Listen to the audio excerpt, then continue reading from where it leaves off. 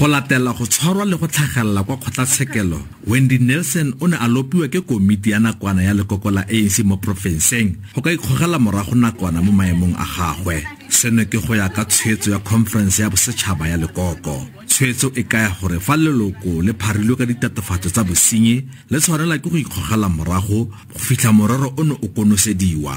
Nelson o ne a dira jalo jaanong jaaka a sa bonwa molato ke kgotlatshekelo lekala leo a tlhagang kwa go lone le lopa gore a busediwe ka gangwe mo maemong a gagwe Today we are celebrating the ac- acquittal of Comrade Wendy Nelson on all charges as per the NEC decision. We call on the IPC of the Northwest to reinstate her in both positions that of the IPC fundraiser and in the Northwest Provincial Legislature without any delay as they did with her removal. lekoko mo porofenseng le kaya fa le tlile go buisanela morero ono le ene ra itumela ebile ra mo dume- ra mo dumedisa re mo re mo lakaletsa matlhogonono gape le gore re mo emetse ka diatla tse pedi go buela komiting ya rona.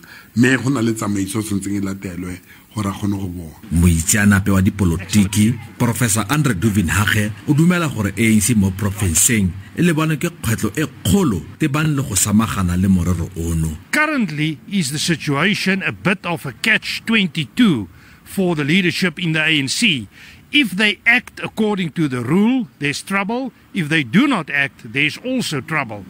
And if the leadership is inconsistent, this is going to breed a number of problems within the context. ba lekala leo nelson a tlhagang mo go lone ba ikanne gore fa ditopo tsa bone di sa diragadiwe ba tlile go lopa tsereganyo ya boeteledipele jwa bosetšhaba kgabagare nelson o ne a sa tsenela kopano ya bobegakgang seno go kaiwa e le ka kgakololo ya babueledi ba gagwe patrick dintwa sabc news Klerksdorp